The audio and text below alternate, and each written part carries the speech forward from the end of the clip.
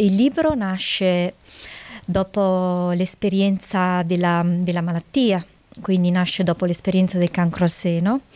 eh, ed è una raccolta di poesie eh, che non parlano solo ed esclusivamente di questa tematica della malattia, ma che raccolgono eh,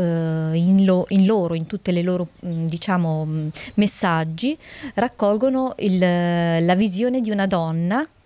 e, e la visione della, della, donna e come lei vede questa mm, vita prima e dopo la sua malattia, ma eh, la vita che vedo io attraverso il mio filtro è comunque la vita che vedo anche nelle altre donne, quindi racconto le donne, eh, le donne innamorate, le donne amate, le donne rifiutate, le donne ammalate, le donne guarite. E, ed è proprio un libro scritto da una donna per le donne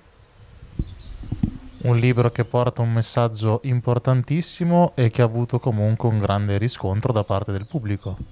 Sì, perché diciamo che il fulcro di questo libro è appunto una, una nicchia, diciamo, una donna che scrive per le donne e parliamo di donne coraggiose. Io parlo di donne forti, non per questo di donne aggressive o di donne eh, guerriere in termini negativi, ma di donne che lottano per un motivo, per un obiettivo, senza calpestare nessuno, ma solamente riconoscendo nella propria femminilità, nel cambiamento e nel rifiorire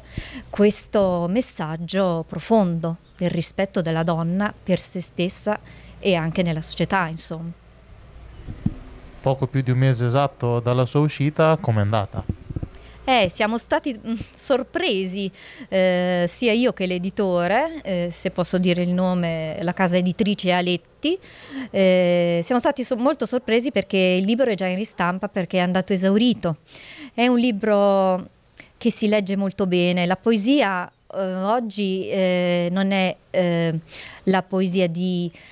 di stanchezza, la poesia di tristezza. La mia poesia è una poesia che parla veramente a tutte le persone, di, di tutti i livelli culturali. E quindi il libro è piaciuto e io sono contenta